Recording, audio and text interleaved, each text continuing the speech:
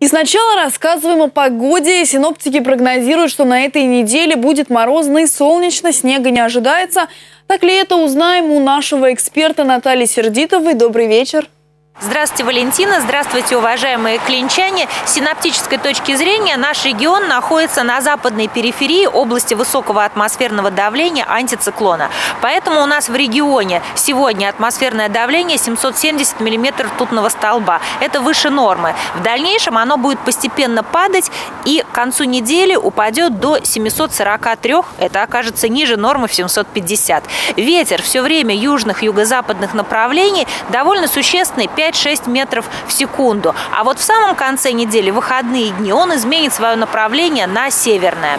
Температура воздуха сегодня самый холодный день на этой неделе. Э, днем минус 3, ночью минус 7, минус 8. Но по мере того, как атмосферное давление будет падать, температура воздуха будет расти. И к пятнице уже мы ожидаем в дневные часы 0 плюс 2 градуса, а в ночные, соответственно, минус 2. А, что касается осадков, пока солнечно, но уже начиная завтрашнего завтрашнего дня облачность уплотнится.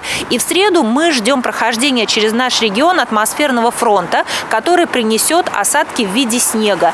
Дальше эти осадки уменьшатся и превратятся в небольшую морось, в дождь.